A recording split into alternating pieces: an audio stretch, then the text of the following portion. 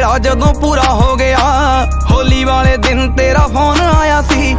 ਅਗਲੀ ਸਵੇਰ ਤੇਰੇ ਸ਼ਹਿਰ ਆ ਗਿਆ।